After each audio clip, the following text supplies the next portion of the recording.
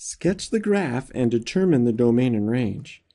Here we're given an exponential function. So to graph this, we'll use our transformations. Let's first identify the basic graph. And in this case, we'll use y equals e to the x. Next, we need to identify the transformations.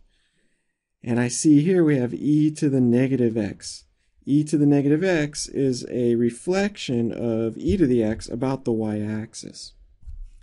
And then finally we notice we have here a plus 2. That corresponds to a vertical translation up 2 units. Once we identify the basic graph and the transformations, we're ready to sketch the graph of the function here, f. And so starting with the basic graph, y equals e to the x, Let's first reflect that about the y-axis.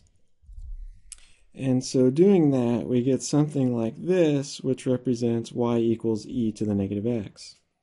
Now we'll take this graph and shift this, including the asymptote here at y equals 0, we'll shift that up 2 units.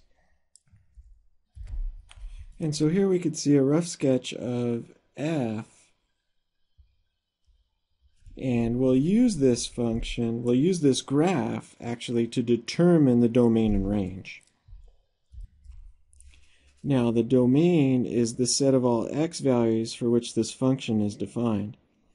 And we can see that is all real numbers, or in interval notation, we can write from negative infinity to infinity. Now the range is the set of y values for which f is defined. And the range here looks like it's bounded non-inclusively by 2, and all y values greater than that will be in the domain, as I've shaded here. Writing that set in interval notation, we can write 2 to infinity. And that's the range.